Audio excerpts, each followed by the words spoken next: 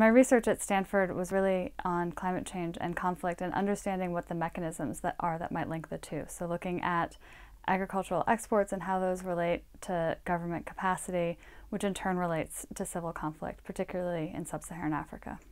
A lot of the climate change research related to agriculture has to do with food crops, corn, wheat, uh, rice, and how climate change is going to impact the production of those crops.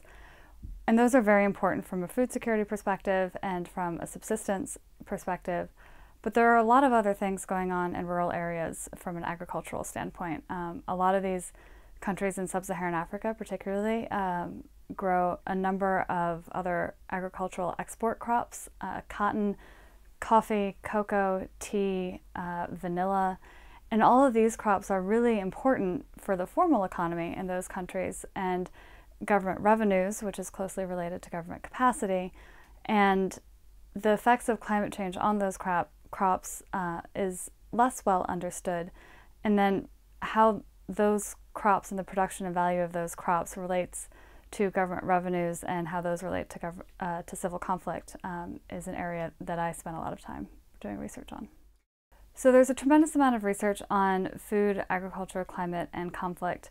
And the research spans a wide spectrum. There's focus on the effects of climate change on food security and agricultural crops, and then there's been a tremendous amount of work done on looking for a, a climate signal for civil conflict, particularly in sub-Saharan Africa. And a lot of this work draws a very clear and simple path. If it rains more or if it rains less, there will be more or less conflict. And these studies are useful for highlighting that it's important to look at climate change and conflict, but they're more difficult from a policy perspective for getting at what the mechanisms are and how we might think about intervening to actually address reducing the risk of conflict from potential climate change impacts. The only way to change, you know, the agricultural outputs due to climate change is to change climate change.